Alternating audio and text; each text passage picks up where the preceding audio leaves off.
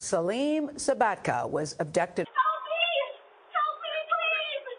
My daughter has got kidnapped! Mother jumped into the suspect's car frantically trying to save her. The driver pushed her to the ground and sped off and took Michael Webb into custody. Thank you.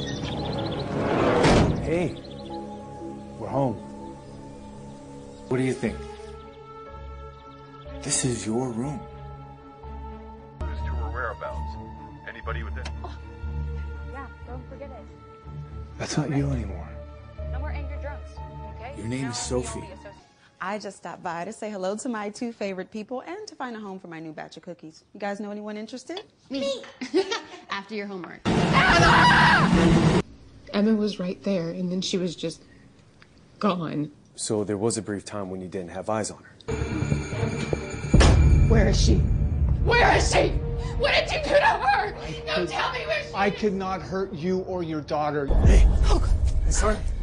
I didn't think the boys out front would let a person of interest just come see you. What are you doing here?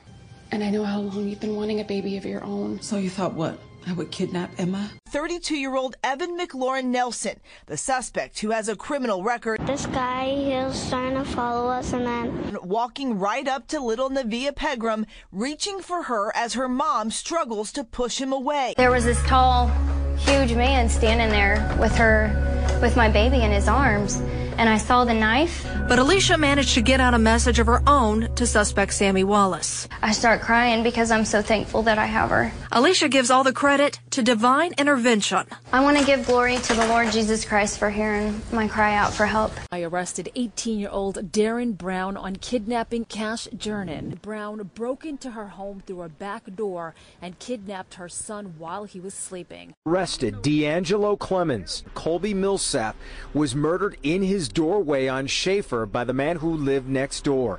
He then held Maggie in her own house hostage.